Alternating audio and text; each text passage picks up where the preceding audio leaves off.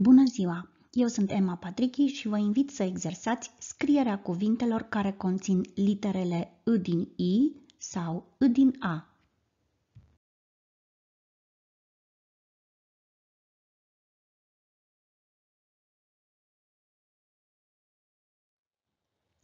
Ascultați cu atenție textul următor.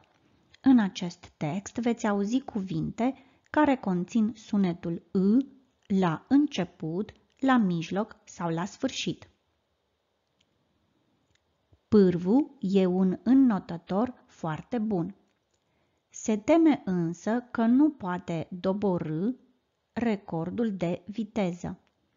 Se antrenează cu hotărâre. Luna viitoare se va înscrie în echipa României. În limba română, sunetul I este redat cu ajutorul a două litere, I din I sau I din A. Dacă sunetul I se află la începutul sau la sfârșitul cuvântului, folosim în scris litera I din I. Ca în cuvintele înnotător, însă, doborâ, înscrie, în. Dacă sunetul î se aude în interiorul cuvântului, folosim în scris litera î din A, ca în cuvintele pârvu, hotărâre, României. Atenție! Dacă trebuie să scrieți cuvinte precum reîntors, neîncetat, neînsemnat, deși sunetul î se află în interiorul acestora, veți folosi litera î din i. Explicația este următoarea.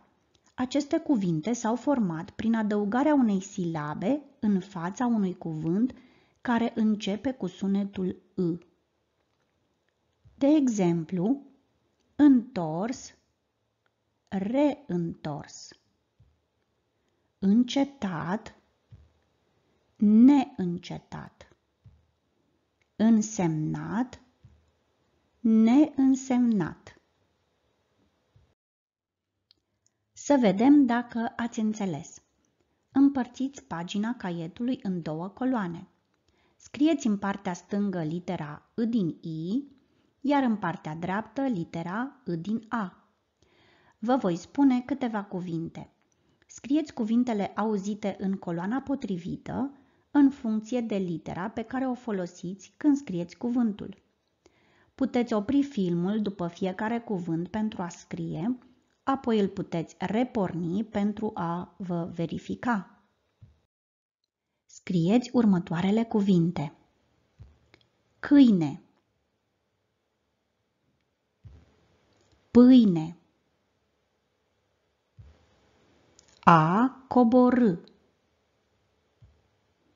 A izvorâ. Înnotător.